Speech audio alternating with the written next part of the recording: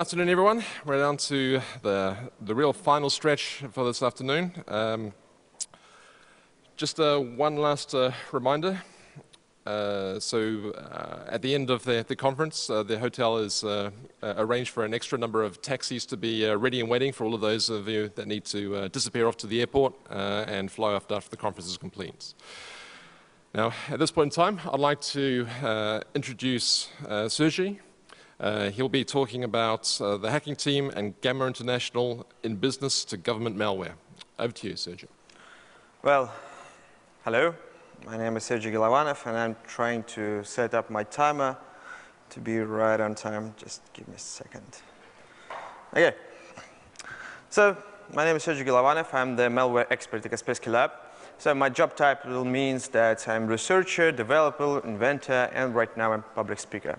So you know that there are several stories about the government malware, for example, in Germany, in China, but I, am going to talk about particularly about the two cases connected with the hacking team and with Gamma International.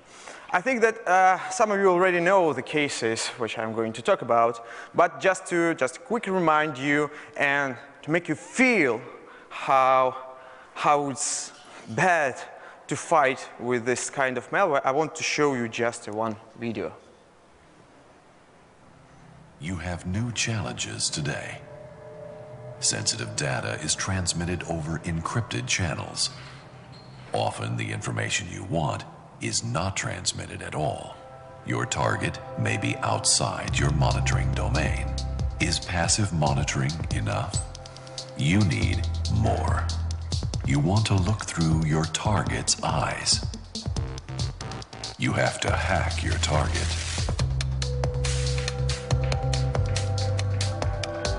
You have to hit many different platforms. You have to overcome encryption and capture relevant data.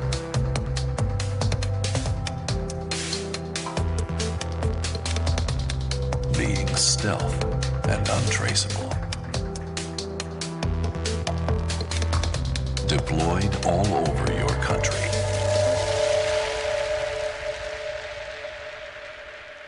Exactly what we do.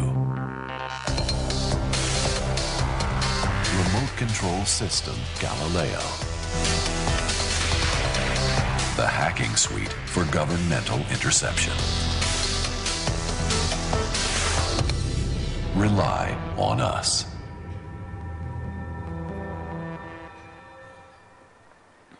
So this is, gives you just an example what we're going to talk about. And for personally me, this story started with some letter that we received 24 of July last year that was sent to a lot of uh, security companies that contains the jar file with the Mac malware inside it. So right now we know that this case was connected with the Moroccan case where the journalist from Morocco was attacked by this malware. And of course, it was a lot of buzz because in the media, because he's a journalist, and it's a really bad idea to attack the journalist.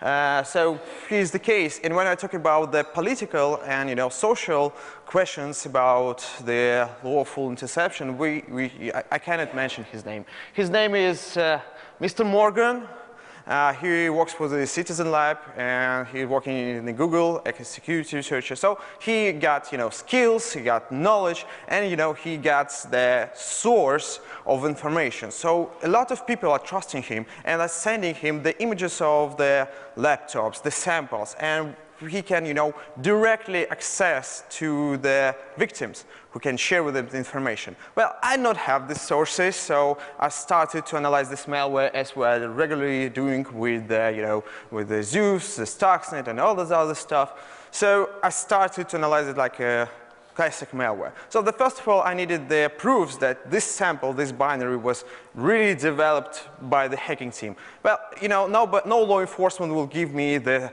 computer for the forensic analysis of the developer or hacking team. So I need some evidence. So the evidence was like, so the first one was obvious. In all materials of the hacking team, they're using the RCS uh, letters to describe the functionality. Then we got the same functionality in the same letters in the binaries. Then it was uh, the exploit, which is, which is available on the VirusTotal that downloads a payload from the hacking team subdomain. And the last one that uh, in the some version of the Trojan, the path where the source code was located was in the name for the username Guido. And suddenly Guido is the name of the senior developer at the hacking team. So, well, you know, I don't have the, you know, proofs for the course that this malware was developed by the hacking team, but as a researcher, this information is really enough for me. So, what can it do?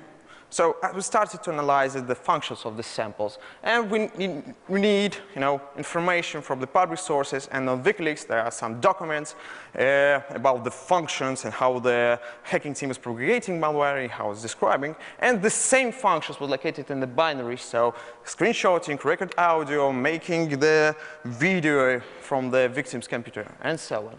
But, the, you know, the, uh, actually, there was several other interesting things that wasn't described. For, First of all, it was a, there was a self-replication mechanism. So, uh, for example, in Russia, if the judge gives the law enforcement, uh, you know, right to spy for someone, judge will never, never, never allow the law enforcement to, for example, monitor all the you know, random people and the friends of the, of the suspect. But malware, you know, allows law enforcement to, you know, replicate and infect the, any computer with this flash drive. Then it's got the infection of virtual machines. It can work with the mobile platforms. Then it's got the ability to self-update and installation drivers. And usually the samples are signed by, by you know, authorities. So uh, the, the, the fourth and the fifth, you know, layer is really, really important because the worst scenario of using the law enforcement uh, tool is the case when the law enforcement, the officer, for example, in some country, it's possibility, can install the malware inside of the machine, then updated this malware with additional code, and this additional code will download some forbidden content from the internet, like a child porn, on the computer, and then this code will be, you know, self-deleted. After that, the law enforcement can knock at the door and say like, you are guilty. And the guy will have no, no, no, nothing to do with that because there will be no evidence that the malware was existing on his computer. So the other way is the, how it's propagating. We got the several documents and this describe the physical access.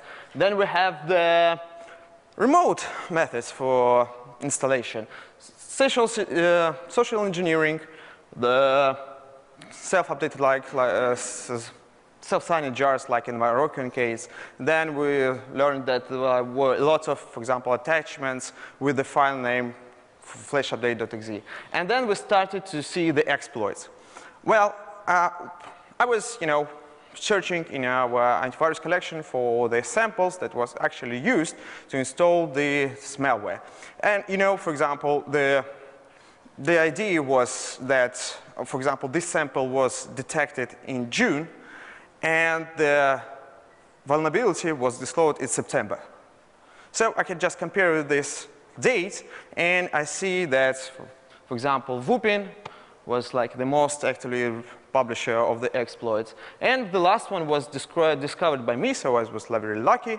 I passed this zero day to Adobe.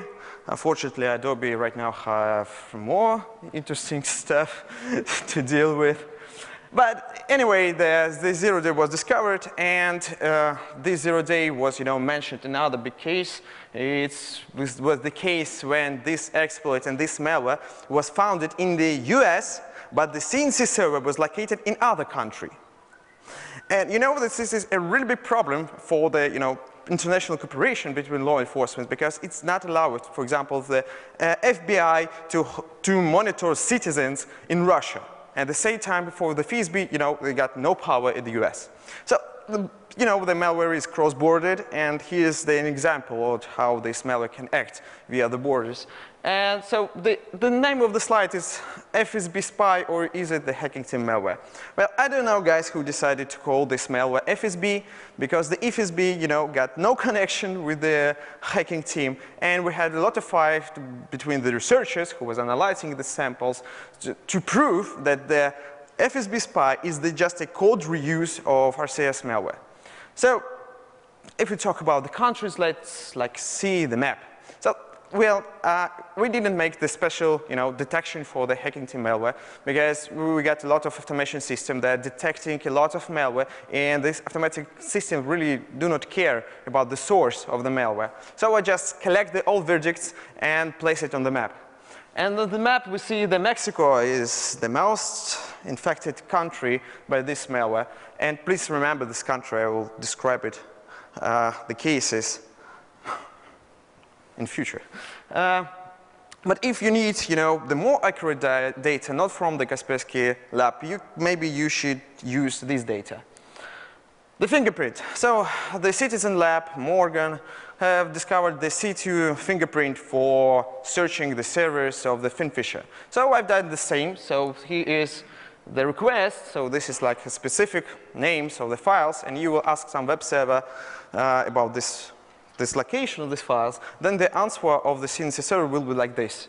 So error, RCRs collected error, and here's the you know, offset in the binary where it was generated error. In fact, this is where I'm stopping my researching. Because, you know, Mr. Ross, and yesterday on the Symantec presentation, how there was sinkholing, really good job, sinkholing the ZeroAccess, it's huge success. But, you know, I don't want to sinkhole these botnets. Because, you know, if I'll try to do this, then I will, you know, immediately get charges for the blocking the judgment.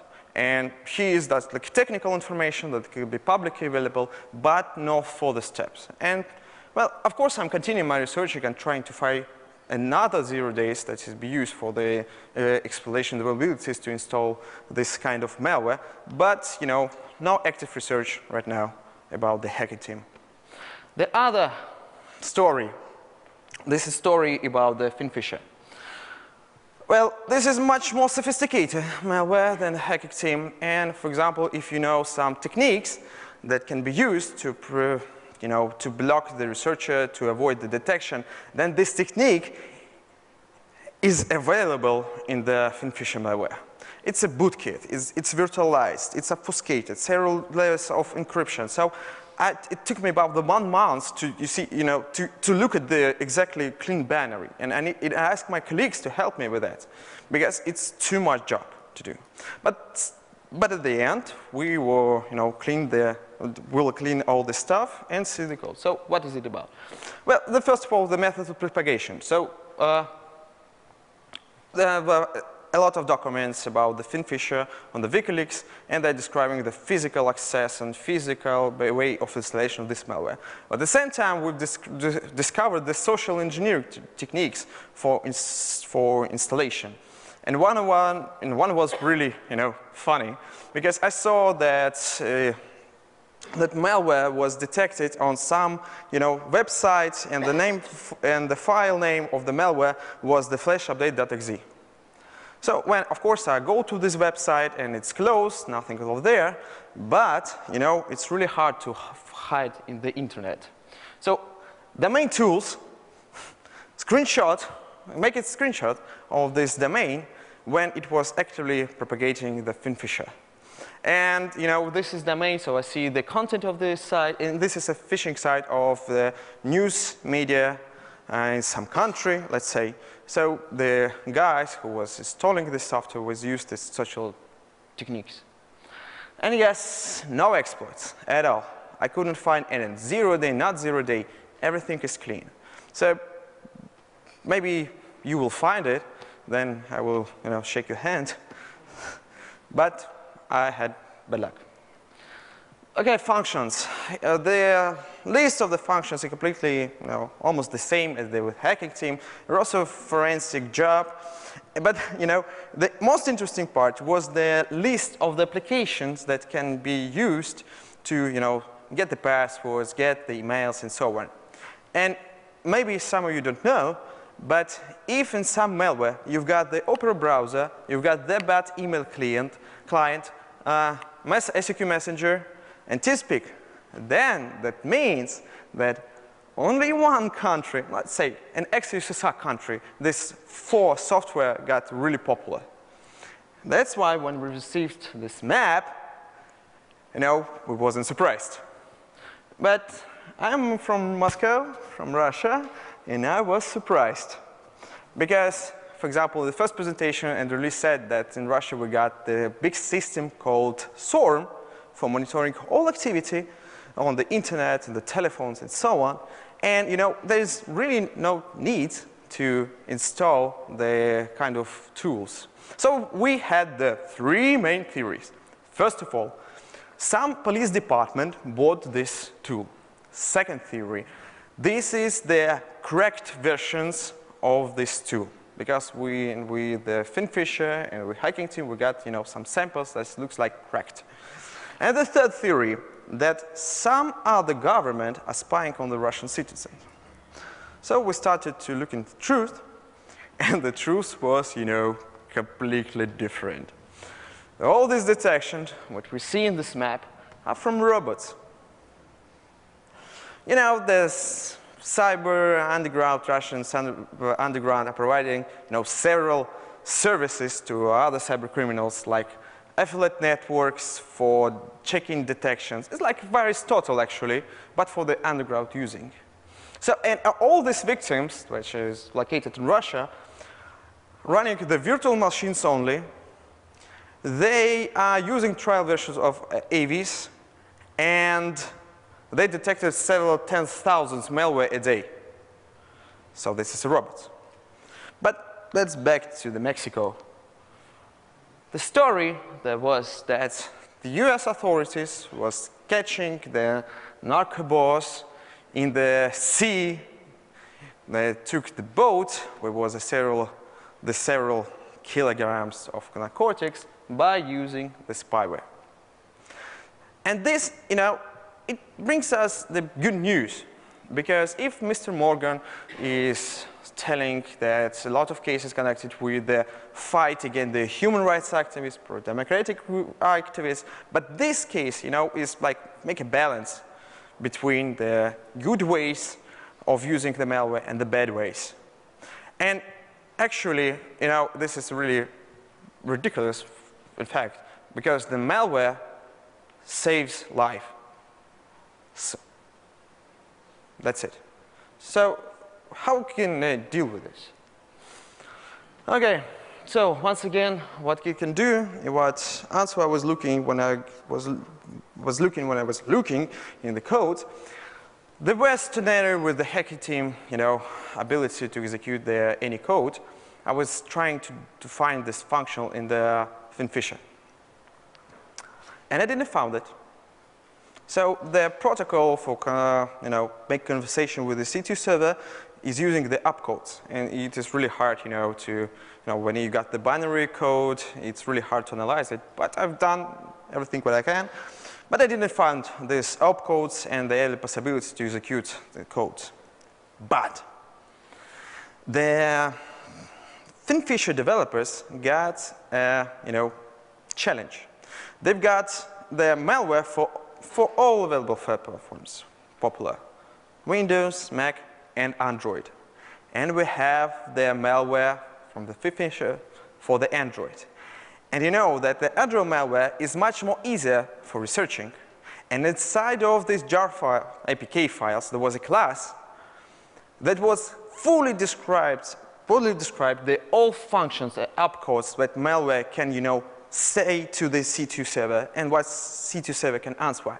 And inside of this config file, inside of this malware, there were the opcodes for executable files, for making the remote shell commands, allow to execute anything you want. So that means that malware, FinFisher, can execute the anything, but we don't have a sample. So right now the theory is that somewhere exists the premium version of the FinFisher that can do anything. But we got no samples. Well, summary. It's sophisticated malware. malware. And how I learned this? Well, if it took several months, it's a sophisticated malware.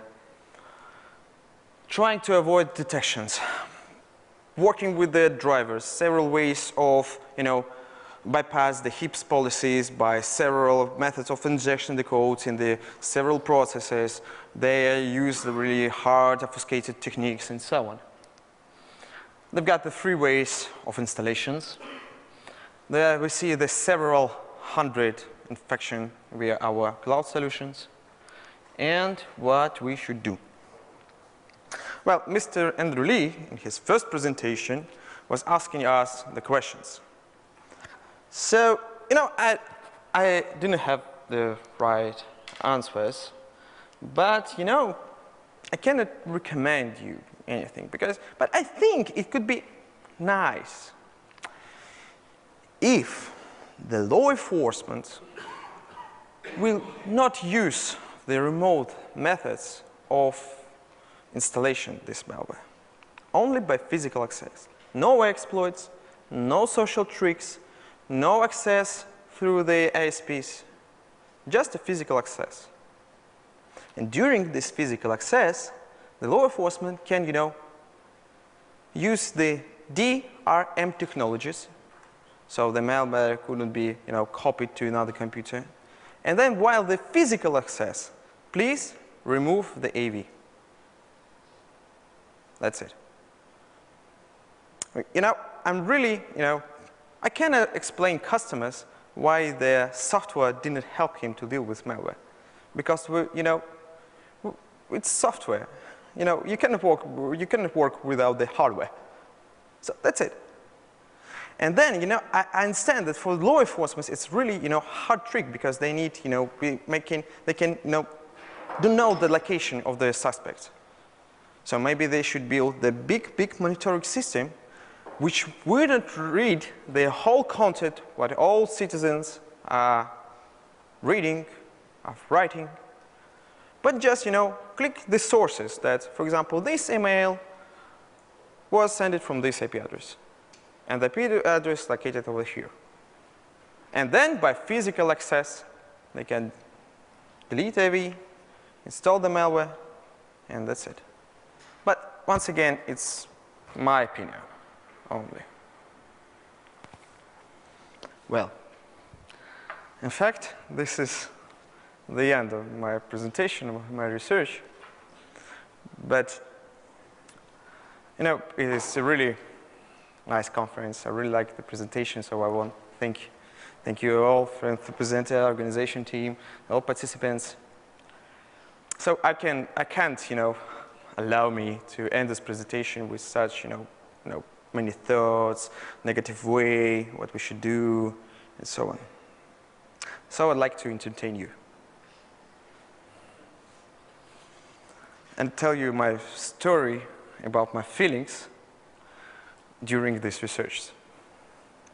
I was really down because this malware, you know, have the, some ethics and brains, so my brains taught me to do several things that we can do with the cyber criminals GANs. And I was really down. And when I wrote the stories from the Morgan about how this malware was used, it was terrible. So it was a nightmare for me. I didn't sleep, smoke, drink a lot of alcohol. My wife asked me to, you know, to eat something. So it was a nightmare. But then my friend sent me some link to the British comedian it was really funny, so I decided to know to deal with my feelings and to do something to back to the normal life. So I decided to write a song. and the song is about the malware, the law enforcement, the AVs, about everything, about all my feelings. Enjoy.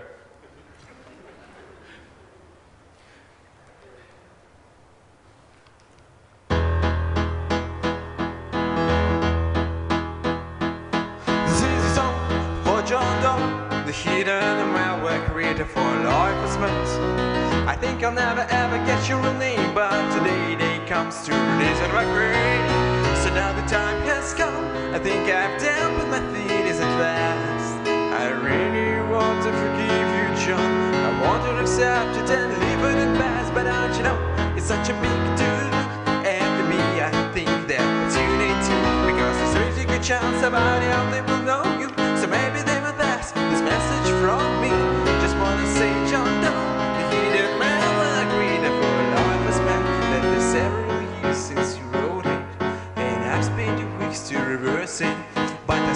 you next time on your business trip, you will be arrested and put in jail. Yeah, I want you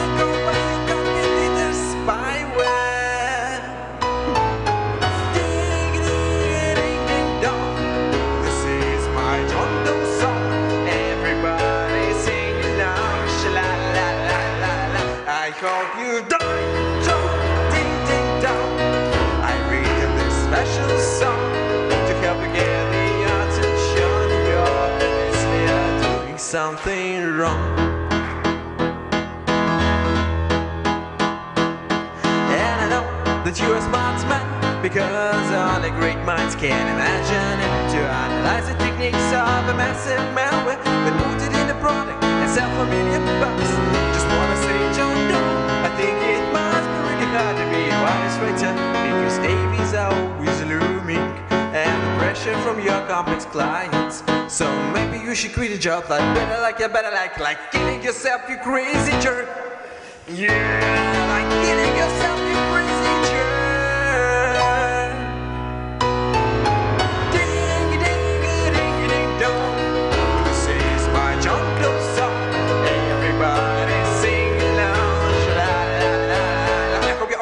with the fire. John, ding, ding, dong.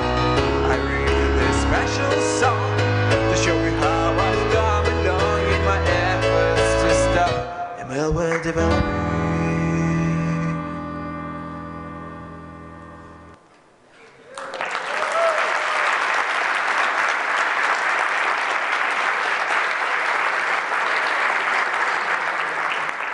Thank you. Questions? Thanks, Sergey. Yeah. Who's going to follow that up? You have to do it in a sing-song voice for a question. Come on, who's next? Any questions out there? One question just down here. Here comes the mic. Hello, great presentation. Just out of curiosity, F-Secure, among a couple other players, have made uh, uh, the proclamation that we will detect all malware, no matter from which police, even in Finnish. Do you know what's the Kaspersky's official stand, stance on this? Can you please repeat the question? So what the Kaspersky thinks? So basically, what we do is that we have made a claim that we will detect all malware, no matter who is using it. Yeah, yeah. So, well, you know, we got the big, big automatic systems, and we really, you know, the robots do not know anything about the hacking team and this song. So actually, you know, we hadn't, you know, right, you know, orders to stop blocking it. We don't have the maybe the unofficial way some law enforcement are coming to us during some conference and asking, you know, maybe we should allow them. It's a big case, it's a really big case, so we are saving lives, so maybe we should like. But we say, okay, so well, good, but I cannot, you know, fight with inf- our infrastructure. So this is like the so this is the way how we're dealing with it. So we are working, we are doing our job, and what? What else? What do you need from us? Good answer, thanks. So with that, we wrap up uh, today's session. Uh, if you'd all like to raise your hands one more time for Sergey for his excellent presentation.